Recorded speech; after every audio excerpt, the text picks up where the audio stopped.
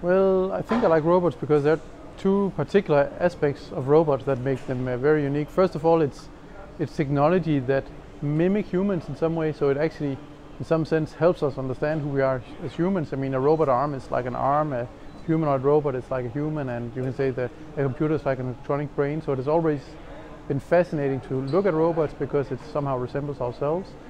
And the other aspect of robots that is really cool, I think, is of course that it's it's this uh, machinery that can actually help us do more with our time and energy.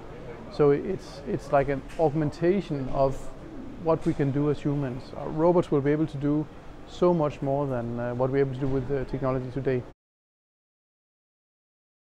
Well, here in Odense we have a very nice, uh, very big community of, uh, of robot companies, so around 120 robot companies with uh, around 3,500 uh, employees in those companies. So it's, it's a big uh, community, a big cluster of companies that seems all to be taking off really well.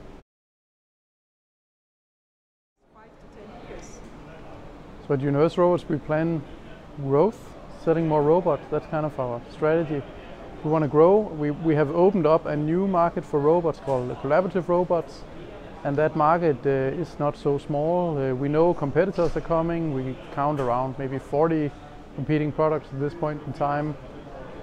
But we have the lead. We have maybe 60% of the total market share for this kind of robot. And we want to maintain that lead while the market grows. We expect uh, the market can grow a lot, 60% year over year over the next coming years, and, and that's also our ambition to uh, keep that growth rate.